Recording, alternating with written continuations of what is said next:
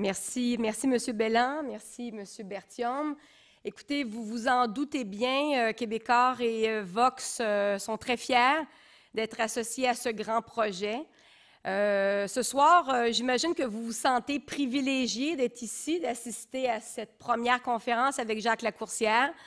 Bien, sachez qu'il y aura aussi près de, ou plus de 4 millions d'autres Québécois qui seront presque aussi chanceux que vous, puisque dans le confort de leur salon, euh, les 13, 14 et 19 novembre euh, et par la suite euh, sur Illico pourront donc regarder l'émission quand bon leur semblera. Donc, on élargit, on rend ce beau projet accessible à travers le Québec. D'ailleurs, j'aimerais saluer, je pense qu'il y a un groupe de la Mauricie ce soir dans la salle qui, sont, qui sont venus en autobus. Bienvenue.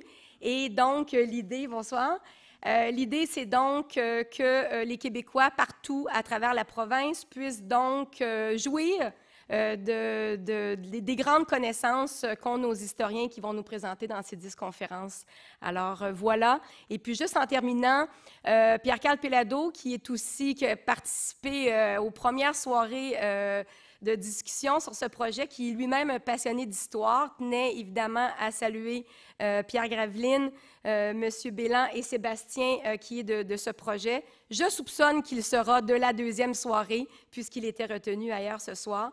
Alors, ben, bonne chance à tous. Bravo aux artisans qui sont derrière le projet. Merci.